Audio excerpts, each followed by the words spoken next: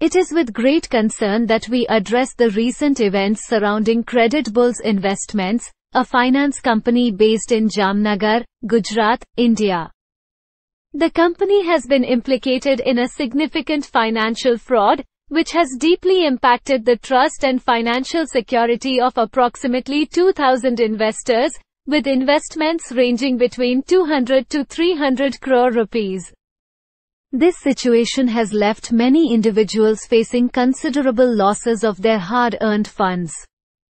On March 28, 2024, an official First Information Report FIR was filed against Mr. Dhaval Solani, the CEO of Creditbulls Investments, and his associates at the Jamnagar B Division Police Station in Gujarat, India. Mr. Dhaval Solani is suspected to have fled to Dubai, presumably to evade legal consequences in his home country.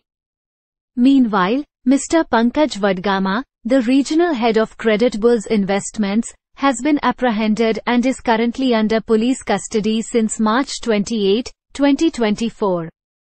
The key figures identified in the fraudulent scheme include Mr. Pankaj Vadgama Regional Head, EMS, Dhara Bharadiya Regional Sales Head, EMS. Dhara Joshi Sales Executive, and EMS, Dimple Prajapati Investment Consultant. These individuals are believed to have collaborated in enticing investors through various means, including persistent communication and false assurances, thus playing integral roles in executing this fraudulent enterprise. Upon contacting EMS, Dhara Bharadiya, she vehemently asserts her innocence, claiming ignorance regarding the fraud allegations. She maintains that she invested 14 lakh rupees herself, of which Dhaval Solani reimbursed her 10 lakhs. Additionally, she states that she tendered her resignation from Creditbulls investments on March 22, 2024 and despite this, did not receive her March salary. EMS, Dhara Bharadiya asserts that she took the initiative to visit the police station to report the incident firsthand. However, there are suspicions regarding the veracity of her claims, with concerns that she may be fabricating these statements in an attempt to evade legal repercussions.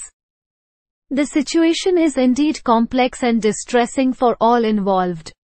It's understandable that there would be confusion and attempts to deflect blame, especially given the gravity of the allegations.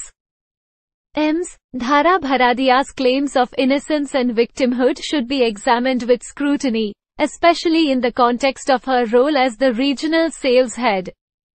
Even if she personally invested in the company and claims to have suffered losses, her position of authority within the organization suggests a level of complicity or, at the very least, awareness of the fraudulent activities.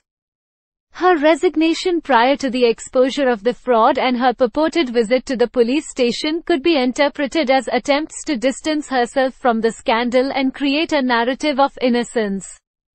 However, resignation alone does not absolve one of potential involvement in criminal activities that occurred during their tenure.